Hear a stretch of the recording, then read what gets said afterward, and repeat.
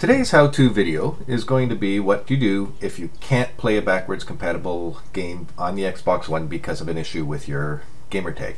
So what you need to do is launch an Xbox One backwards compatible title. Once it's up, press the back and start buttons on your controller to bring up the menu and go to manage storage. From there you select yes, go to your profiles, Select your profile and delete profile only.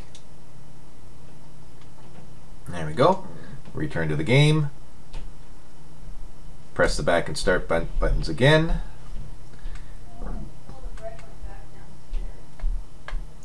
And download your profile. It'll check the network status. You type in your username, your email and password for the uh, profile, and you're off to the races. It will take some time for your profile to re-download. And there we go. Once it's done, just sign in, and everything should be good for you.